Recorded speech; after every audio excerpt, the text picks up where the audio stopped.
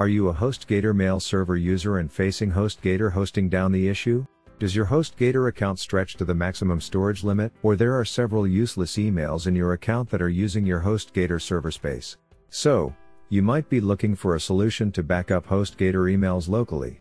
Here is the perfect solution. DRS HostGator email backup tool that can quickly download HostGator emails into your hard drive in various popularly used file formats. This webmail backup software saves and backups your HostGator emails into PDF, PST, EML, MBOX, OST, CSV, HTML, etc. file formats. Also, you can migrate your HostGator profile data to other email clients such as Amazon Webmail, Gmail, Yahoo, Outlook, Thunderbird, IMAP, iCloud, etc. The tool has user-friendly GUI and runs on all versions of the Windows operating system including Windows 10. Let's check out the prerequisites of the software.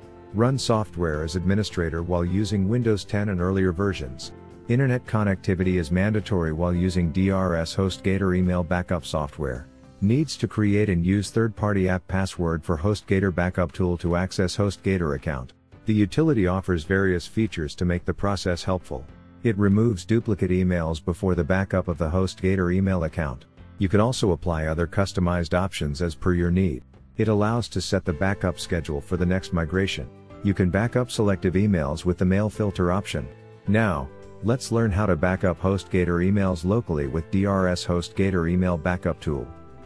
First, you need to download and launch the backup utility.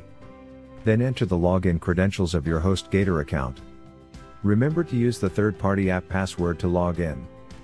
If you don't have an app password then click the link on the software to learn how to create and use the third-party app password. Provide destination path and temporary path and click the sign in button from above. After login, choose the HostGator items that you want to export and click next. Select the email format or email client for saving the backup. Here, we have selected PST for explaining the process. If you want to remove duplicate emails then tick the checkbox Remove Duplicate Emails. Skip previously migrated emails by selecting the provided option. You can also pick the option to migrate without attachments. You can also schedule the HostGator backup process respectively. If you want to save emails from a specific date range then tick the checkbox Mail Filter, enter start and end date as parameters. You can also add a custom folder name, for that choose the custom folder name option. After that enter the path to save the output file. Then, click on the convert button to start the backup process.